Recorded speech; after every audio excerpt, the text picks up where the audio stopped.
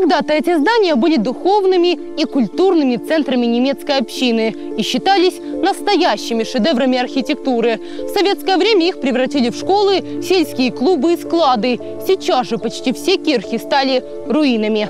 Это телепроект «Мой дом Одесса». И в этом выпуске вы увидите Спасти нельзя разрушить. Жители села Долиновка хотят отреставрировать немецкую кирху начала 20 века. Далі шукаємо спонсорів, меценатів, хто може поставити вікна, кришу. Когда-то величественное здание, сейчас руины. Какая судьба ждет крупнейший католический собор юга Украины? Были еще две башни, они были уничтожены. Ну, остались только вот их э, э, следы. Десятки старинных святынь. Кто должен следить за немецкими кирхами и восстанавливать их? У них есть эта возможность намного больше, чем у бюджета области на это все.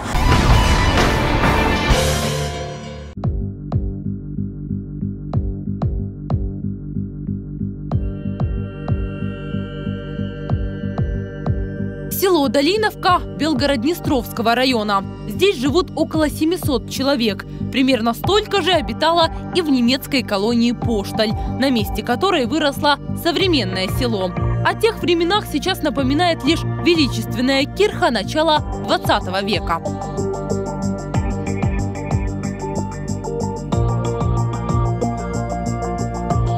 Когда-то здесь стоял орган, пел хор, стены украшали фрески, а рядом работала воскресная школа. Кирху возвели в 1904 году. На строительство потратили 29 тысяч рублей. Огромные по тем временам деньги. Здание пережило революцию, но после того, как немецкие колонисты покинули село, костел начал разрушаться. В советское время здесь было зернохранилище. Сейчас от величественной кирхи в неоготическом стиле остались только стены. Даже крыша давно утрачена. Но и в таком виде старинная постройка привлекает внимание путешественников. Это место вполне может стать еще одной достопримечательностью юга Одесской области. Местные жители мечтают привести в порядок старинное здание. Уверены, если кирху восстановить, она будет привлекать туристов. Первым делом костел начали обносить забором, чтобы защитить от вандалов. После этого хотят возвести крышу. Все делают за счет бюджета Морозлеевской громады, но на полноценную реконструкцию денег не хватит. Поэтому пытаются найти инвесторов. Пройшов занепад трошки цієї інфраструктури. І як одне з таких зданій, що трошки занепало, це кірха. Почали відновлювати роботи, її загоражуємо.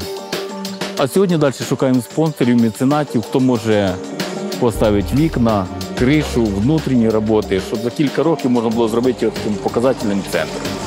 Кирха в Долиновке не является памятником архитектуры, поэтому обращаться к чиновникам местные жители не видят смысла. Но планы на будущее уже строят. В отреставрированной Кирхе хотят открыть Центр немецкой культуры. Туда же перенесут музей, который сейчас разместился в младшей школе. В новом центре будут рассказывать о Кирхе и немецких переселенцах, основавших в 1884 году колонию. В те годы в селе был свой банк, больница, несколько мельниц, кирпичный завод и типография. А культурным и духовным центром была эта Кирха. Перед Майданом, ну перед Кірхою, дуже багато людей завжди збиралося ще чому. Ем, вона дуже е, вражала своєю величністю, і е, дзвіниця Кірхи е, кажуть, що було видно в Акермані. Дуже багато людей при, приїжджало сюди, коли були свята. Ну, свята це на Різдво, 25 грудня було дуже багато людей, тому що це 24 святий вечір за німецькими традиціями, а 25-го Різдво Христове. І на Пас, на Великдень. Представители Морозлеевской территориальной громады надеются, что на восстановление кирхи у них уйдет не больше нескольких лет. Они уже налаживают контакты с бессарабскими немцами в Германии и хотят обратиться за помощью к одесской немецкой общине. 150 лет назад на юге Одесской области жили почти 10 тысяч немецких колонистов. Екатерина II предложила поселиться на неосвоенных землях Российской империи всем, кому было некомфортно жить в родной стране. Колонистам давали землю, стартовый капитал и освобождали от налогов. В годы Второй мировой немцы были вынуждены покинуть эти земли. Колонию заселили советские крестьяне, а кирхи перестроили в школы, склады и спортзалы, а некоторые просто забросили. В нашем регионе остались десятки немецких костелов. По сравнению с остальными, кирха в Долиновке сохранилась достаточно хорошо. А это крупнейшая католическая церковь на юге Украины. Точнее, то, что от нее осталось. Костел Успения Пресвятой Богородицы построили в 1901 году. Во время Второй мировой войны собор разрушили, а после нее решили не восстанавливать. Церковь основали жители крупной немецкой колонии Зельц. Сейчас это поселок Лиманское, на границе Украины и Молдовы, на берегу Кучурганского лимана.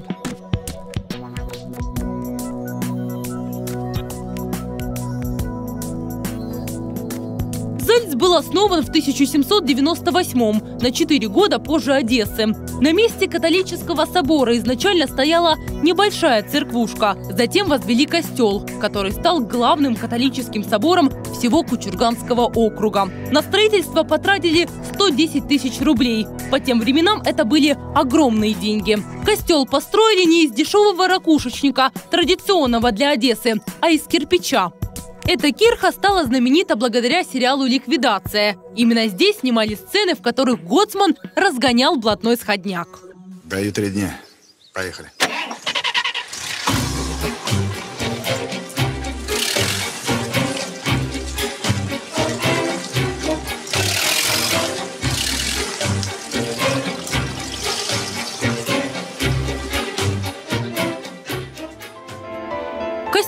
Успения Пресвятой Богородицы считался одним из красивейших в Украине. Величественные колонны, шикарная лепка, большие окна и резное дерево. Как все это выглядело, сейчас можно только представить. На фасаде еще видны барельефы крестов, а местами сохранились даже деревянные элементы. Были еще две башни, как, это и требуется для вот э, таких храмов. Они были уничтожены, ну, остались только вот их э, следы, скажем так. Э, Она была частично кирпичная, э, что, в принципе, редко встречалось в наших местах. И частично она была сделана из, из, известняка. Она действительно очень большая, и удивительно, что, в принципе, в небольшом селе э, кирха была действительно вот таких вот огромных размеров. В советское время святыню превратили в сельский клуб. Местные жители вспоминают, одно время тут даже был гараж сельскохозяйственных машин. Для въезда пробили стену в алтарной части. Следы советского времени видны и на стенах. На них сохранились коммунистические лозунги. А вот в этой части видны следы от пуль. Сейчас внутри здания стихийная свалка мусора.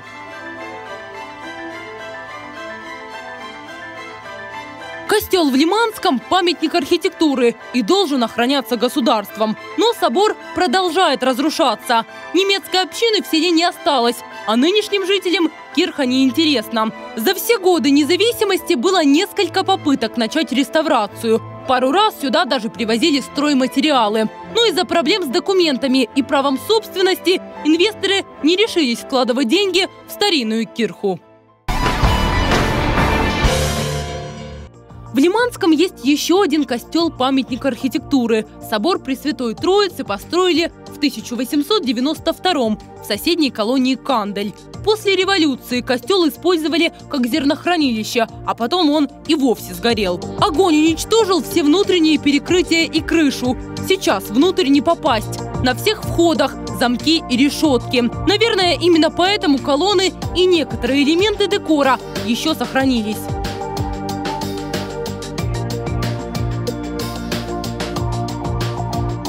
Руины еще одного костела находятся в селе Каменка. Это бывшая немецкая колония Мангейм. Собор построили в 1850 году. Это самая старая кирха в Одесской области. Большинство окон и витражей в советское время заложили кирпичами. Крыши давно нет, а пол порос бурьяном и деревьями. Еще недавно все колонны были на месте, но несколько месяцев назад они рухнули. Привести в порядок старинные кирхи бюджет области не позволяет. Местным громадам это также неинтересно, а немецких общин в селах не осталось. Чтобы начать хоть какую-то работу по спасению памятников архитектуры, в обл. администрации готовят пилотный проект. Всем главам районов отправят письма поручения. Они должны будут провести полную инвентаризацию всех памятников архитектуры на своей территории. Чтобы они все-таки провели ин- инвентаризацию всех объектов культурного наследия, которые есть на их территории района, и сделали на них учетную документацию. Ну, в связи там децентрализация, э, к- деньги, которые остаются уже больше на местах. То есть у них есть эта возможность намного больше, чем у бюджета области на это все. После децентрализации в бюджетах появятся дополнительные деньги, часть которых может пойти на реконструкцию. Но старинным кирхам Каменке, Лиманском и десятки других сел вряд ли повезет. Многие из них даже не считаются памятниками архитектуры. Если за их восстановление не возьмутся инвесторы или местные жители, уже очень скоро от немецких костелов не останется и следа. Руины старинных кирх – единственное, что напоминает о поселившихся в Одесской области немецких колонистах и их культурном наследии. И эту интереснейшую частичку истории нашего города важно сохранить. Потому что Одесса – это наш дом, и нам в нем жить. Увидимся на Первом городском телеканале. До встречи!